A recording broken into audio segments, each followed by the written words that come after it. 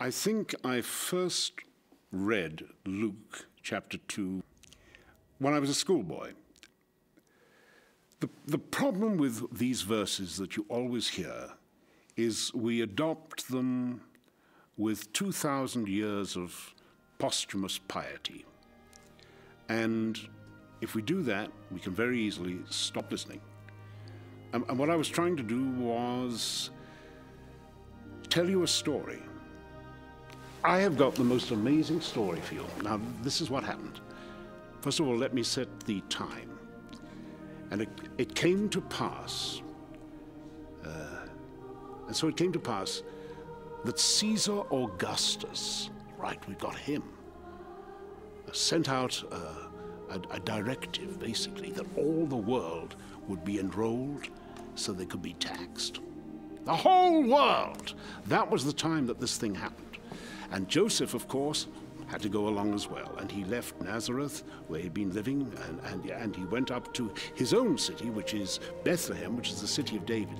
Why is that important? Because Joseph is of the line and lineage of King David. And that's where the Savior is going to come from. And he brought with him his wife, Mary, who was very, very pregnant. They were betrothed. And you know what the taxman's like. By the time you've been there and stood in line, her time had come. Her waters broke, and she was delivered of that most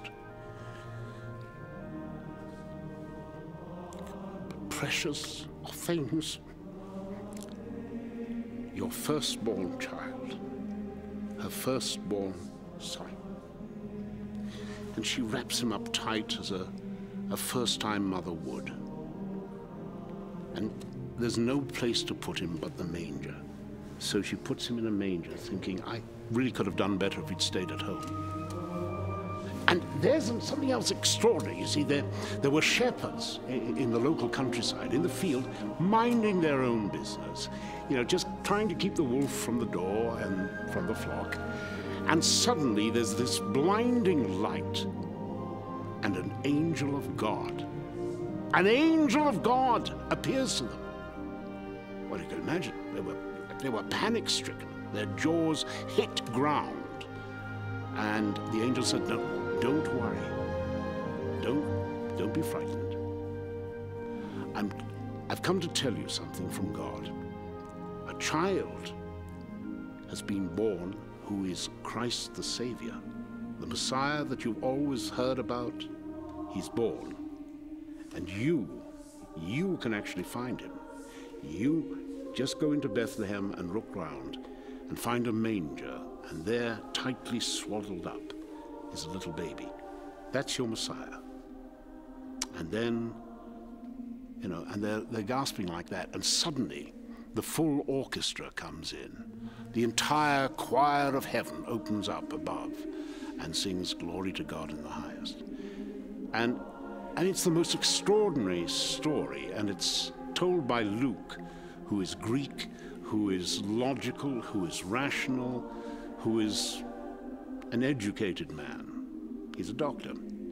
And he's trying to make it in simple language, and yet he is confounded by the paradox of the simplicity and the infinite complexity of the moment.